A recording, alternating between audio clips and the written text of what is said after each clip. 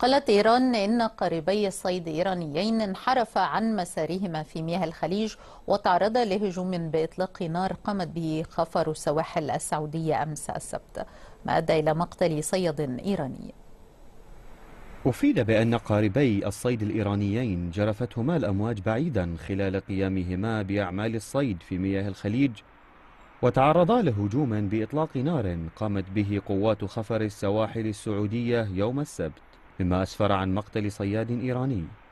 وأشار مسؤول في وزارة الداخلية الإيرانية إلى أن إيران تجري تحقيقا في الحادث لمعرفة ما إذا كانت العوامل الجوية أدت لدخول القاربين المياه الإقليمية السعودية.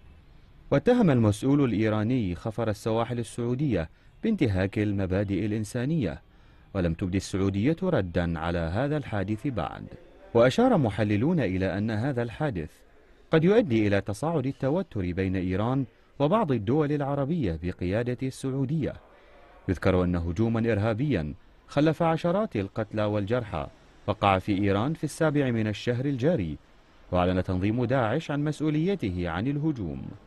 وتعتقد إيران أن السعودية تمول التنظيم المتطرف ومن جانبها أرسلت إيران أكثر من 100 طن من الإمدادات الغذائية لقطر بعد قطع عدة دول عربية علاقاتها مع الأخيرة في أوائل الشهر الجاري.